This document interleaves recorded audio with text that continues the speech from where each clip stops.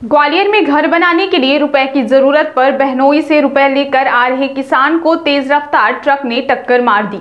घटना ग्वालियर बाईपास पर सिरोल स्थित नैनागिरी चौराहे पर देर रात की है। घटना का पता चलते ही पुलिस मौके पर पहुँची और घायल को उपचार के लिए हॉस्पिटल में भर्ती कराया है। हॉस्पिटल में डॉक्टर ने उसे मृत घोषित कर दिया। किसान की मौत के बाद पुलिस ने आरोपी वाहन चालक के खिलाफ मामला दर्ज कर मृतक का शव पीएम हाउस भेज दिया है। ग्वालियर के सिमरी गाँव गिजौरा निवासी उम्र चालीस वर्षीय अजय सिंह राणा, पुत्र वीरेन्द्र सिंह राणा किसान है। अभी वे अपना मकान बनवा रहे हैं। कुछ पैसों की ज़रूरत होने पर वह दिन में मुरार स्थित त्यागी नगर में रहने वाले बहनोई के पास रुपए लेने आए थे।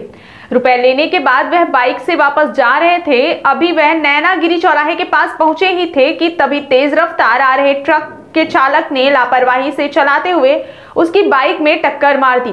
टक्कर लगते ही अजय सिंह हवा में उछला और सिर के बल सड़क पर जा गिरा। हादसे में वह गंभीर रूप से घायल हो गया। हादसे का पता चलते ही पुलिस मौके पर पहुँची और घायल को उपचार के लिए भर्ती कराया है, जहाँ पर डॉक्टरों ने जाँच के बाद उसे मृत घोषित कर दिया। किसान की मौत का पता चलते ही पुलिस ने आरोपी चालक के खिलाफ मामला दर्ज कर लिया है। जिस समय एक्सीडेंट हुआ था, उस समय अजय के पास ढाई लाख रुपए थे, जो वह अपने बहनोई से लेकर आ रहा था। रुपयों से भरा बैग पुलिस को घटनास्थल पर मिला और उसमें रखे रुपए पुलिसकर्मियों ने मृतक के परिजन को सौंप दिए हैं।